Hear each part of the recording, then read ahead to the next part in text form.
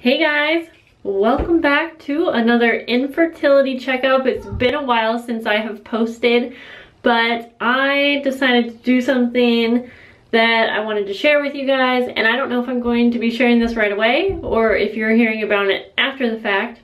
I'll decide. But I have decided to take Clomid I decided to take another round of Clomid for this month, for this cycle, because it just so happens that Hans was going to be home this month. He's not traveling.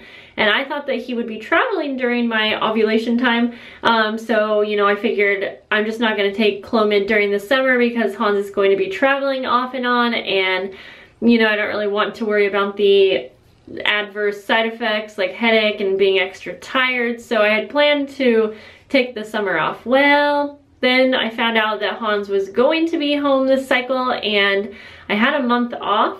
I felt like that was enough. It was refreshing and I, you know, I wasn't stressing at all. Obviously, I didn't end up pregnant, but I didn't think I would. So, yeah, it was just kind of a spur of the moment decision because I was talking to Hans on Thursday night, which was cycle day one for me. And I was like, hmm, well, since you're actually going to be home, like, I wonder if I should take Clomid. And he was like, yeah, I think, I think you should do it. He really wanted me to do it. And because of that, it just got me excited thinking that, you know what, let's just increase our chances. I haven't had any like bad side effects, just normal. So here we are. Today is cycle day, let's see, three, four, five. Today's cycle day five for me. So I started taking it on Saturday. Kind of a weird thing that happened was um, my doctor was possibly not going to prescribe me the rest of the prescription that I needed to complete this Clomid cycle.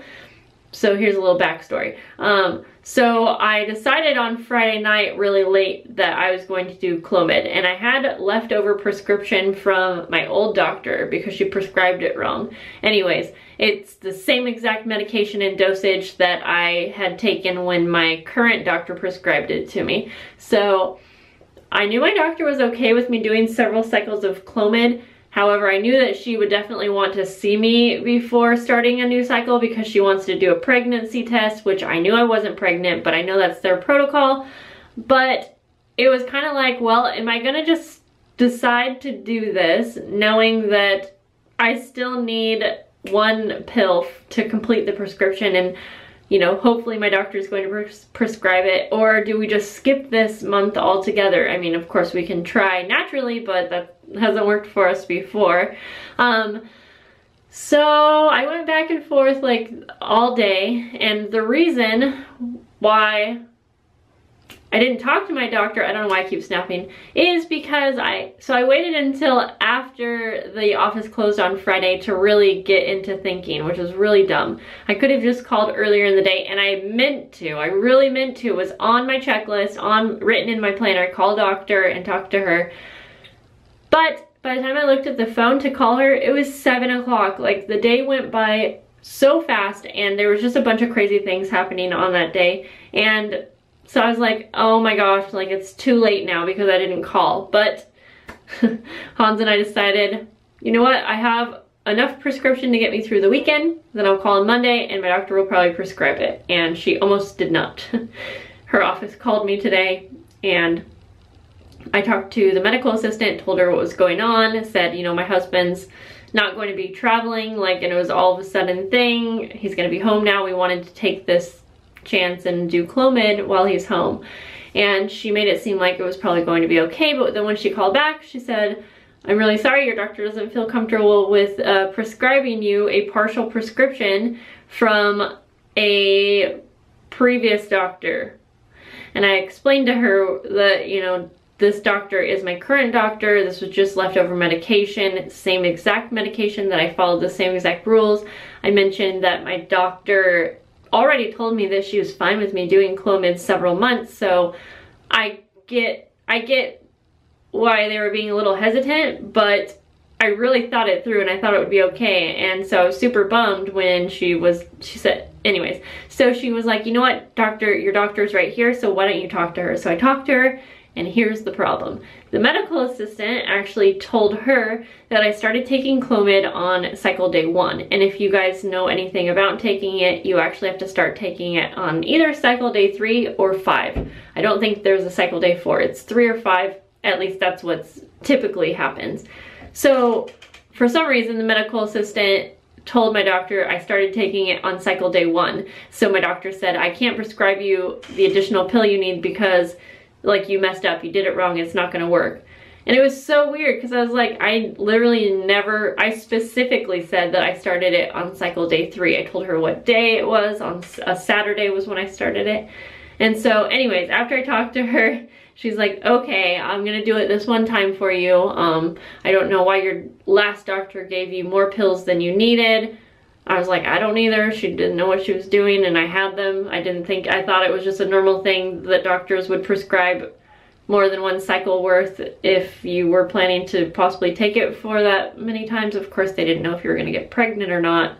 Anyways, so I know that's kind of a long-winded story, but here we are. So I have two more days to take Clomid. So tonight and tomorrow night let's see, Saturday, Sunday, Monday, Tuesday, Wednesday. Okay, so I'll take it through Wednesday. Uh, today is, what's the date today?